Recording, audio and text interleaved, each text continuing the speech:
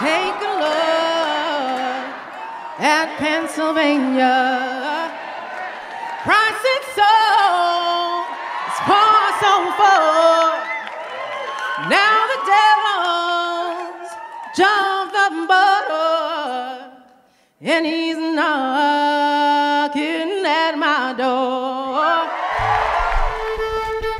Our, our governor Cuomo has a chance to show real leadership and stop this. We will not have our water gambled with. Will he go down in history as the man who saved our children? Those jobs won't last forever, but the chemicals that infect our water will. Governor Cuomo has the opportunity to play a hero's role here. We do not Fracking. Each well is a chimney in the earth, venting toxic gases into our communities. Each well requires an access road, a five acre well pad, a spider's web of pipeline, 50,000 gallons of chemicals, four to nine million gallons of water, and at least a thousand diesel truck trips.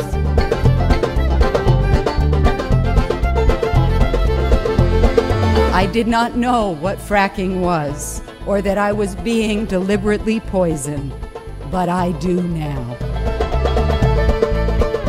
Why are we talking about building out a $700 billion infrastructure build out in order to accommodate natural gas when we only have 20 years worth of it?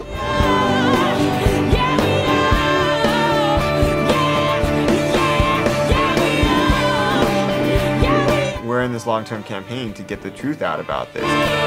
This disintegrates communities. Where there should be a full throated defense of public health, there is instead denial, deceit, silence. That's what we're up against. We're awake, and we realize that we are the change that we have been waiting for.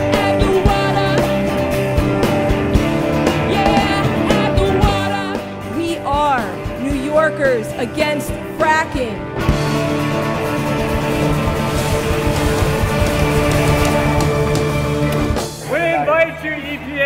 a swill off that.